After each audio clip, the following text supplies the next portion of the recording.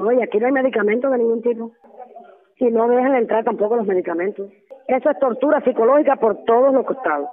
Sea mental, psicológica, es como quiera. Llevo dos días que no me están dando la dieta. Hace dos días ni a mí, ni a Ineli, a ninguna que tocamos dieta. El chícharo lleno de gorgojo, que yo lo más puerco de la vida. Yo le saqué más de 300 gorgojos al chícharo. Yo no puedo comer chícharo, no puedo comer embutido, no puedo comer pescado, no puedo comer huevo, no puedo comer nada por la condición médica mía, por la vesícula, la gastritis, por mis alergias. Yo llevo tres días que no como. Aquí no hay nada, ¿viste? Aquí, por lo menos en el no hay nada, no sé la demás piscina, pero aquí sí no hay nada. Cada día está peor. Y más mujeres para adentro y te violan los derechos, te violan tus beneficios, es todo. Yo tengo dos con siete físicos. Me presentaron la condicional, me la denegaron por tiempo indefinido. Ahora mandé a presentar nuestra penal por la calle. Está el abogado mío hace un mes pidiendo la, la historia clínica y no se la quieren dar. Entonces ahora no sé, no sé qué hacer. Me presentaron en mayo y, uh, y me llegó el mes pasado, en octubre, me llegó denegar después de seis meses. Presentada porque dieron una respuesta negativa.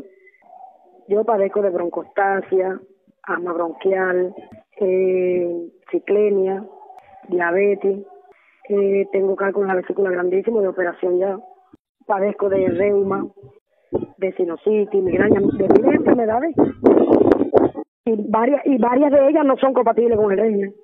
Dicho por el médico, varias de ellas no son compatibles con el régimen, por lo menos la diabetes, la broncostasia, por la condición de la humedad.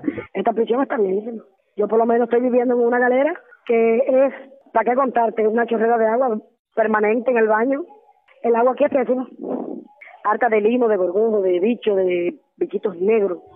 Ahora, mira, ahora me mandó el, especialista, me mandó a ver a todos los especialistas, a todos.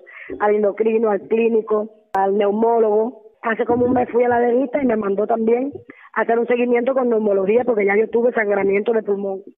Yo estuve en el San Amalia con un sangrado que tuve. Somos el Observatorio Cubano de Derechos Humanos, una organización independiente que promueve y defiende los derechos humanos en Cuba.